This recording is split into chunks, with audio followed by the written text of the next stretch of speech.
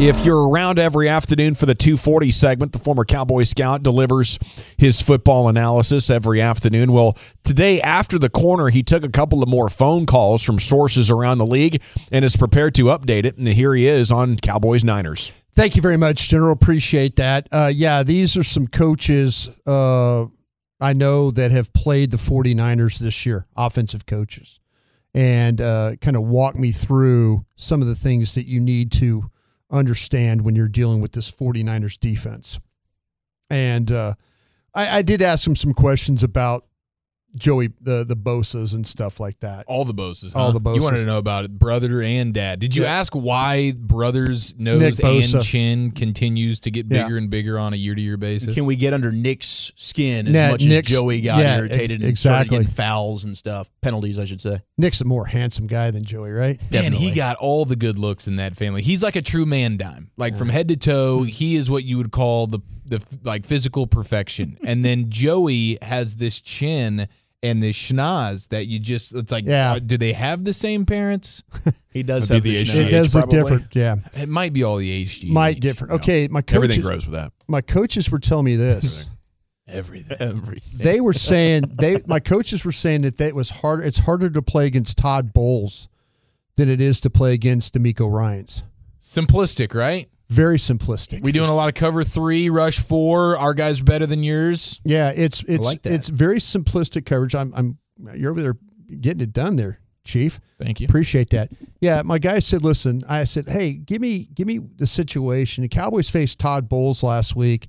You know, and you know when you guys when you see Ryans, what do you think? Oh no, it's it's harder to play against Bowles because he says Bowles is always going to have a package ready for you, something you haven't seen he goes, the thing with DeMeco, DeMeco won't play against a team he could feel like that he could just out scheme or mm-hmm. just outplay because of his players being better.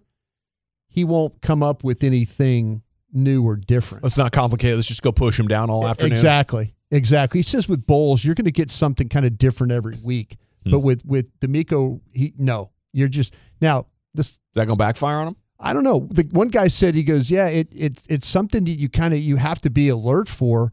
But he says, I I he goes, I feel like that he's going to have a pressure package ready for you guys in this game. Like I say, but there's some teams he just lines up and he knows he's better than, hmm. and he'll just he'll just play to whatever it is. Yeah, no need to take risks. Yeah. We'll be in position. We'll make the tackles. But he respects the Cowboys then. Yeah. If he's going to have a pressure He's going to have a pressure. Okay, good to know. A lot of the this is a lot of the old Seattle defense is what this is. You're going to get a lot of zone coverage. You're going to get you're going to get a lot of man on third down is what you're going to do. Good. Dak will pick that apart. Now, I had my other coach say, I asked him this question. I said, who are they going to try and take away in this game? Who do you think he said? CeeDee. CeeDee Lamb. Tony Pollard. Uh, it, one one guy oh. voted. There's two guys. They each voted for a different guy. Did they say Schultz? One guy said Schultz, and the other guy said they're going to try and take away Pollard yeah. in this game. Okay, is Leave what CeeDee they were trying to do. Don't take away CeeDee. That's fine. Yeah. Now, to, to your points about uh, one guy said this about about Nick Bosa, and I, I respect this. I respect this. This coach told me he says you can't let this get into a two minute game. And when he means a two minute game, that all you're doing is rushing the passer. I I, I yeah. say that on both sides of the ball. Yeah. Like I think if you're the Niners, that's what you got to be scared about. Okay, the Dallas defense knows that that uh, we have to throw the ball. We got 90 seconds to do it and Brock Purdy's going to be running for his life. Like that scares me more as a Niners fan than even a Cowboys fan, but it, it's it goes both ways for sure. One of my guys said though, I'd run the ball right at him. At it at it Nick Bosa. Run right at him. He says because what you need to do is you need to try and wear him down. There sure. you go. Make yeah. him have to make him have to fight blocks and make him have to get off blocks in order to make tackles. So it's like what you said when the Cowboys played the Rams. You said run right at Aaron Donald. Run at Aaron Donald. The Cowboys did that and right. they won that battle. They did win that battle inside. They sure did. I love the idea of Tyler Smith getting out and trying to push around Nick all afternoon. I, I mean, that's my hope. You know, I, I know I'm I've been discussing some things with fans and stuff on Twitter. They're 49er guys. I appreciate you guys. I really do. A lot of passion there. But my well, my guy said, don't don't just run the ball away from him because he will chase that ball. but you got to run the ball at him and don't turn it into a two minute game. If all of a sudden Dallas is throwing the ball every snap, that will be a problem. What about their linebackers, though, Bryan? Can you handle that? Okay, the linebackers. What he says, the, the one uh, one guy said about he was talking about Fred Warner. Yeah, oh, and he said he says he goes, it's hard to fool him because he tackles well, but he also is not the biggest guy. And he goes, you can also run at him, hmm. is what they would try to do, and they did try and run at him. So Fred Warner again, sideline to sideline player, hard guy to fool, but you can run at him. One of my other coaches said you need to change the tempo playing against these guys. Hmm. Okay. Cowboys will do that. Yeah, they'll hit yeah. the turbo. That's what, that's why he goes, and and he even brought it up. He said, "Listen, I've seen you guys play on tape. Yeah, you guys, you will change. You'll go. You'll play fast."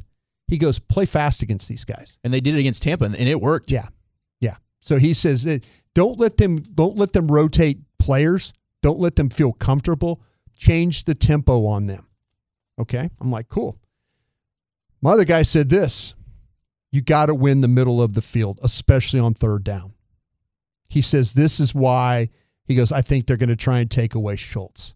Okay. Because they sense. feel like that Schultz, they, they don't feel like, like we mentioned this about Gipson and Hufanga, the two safeties at play here.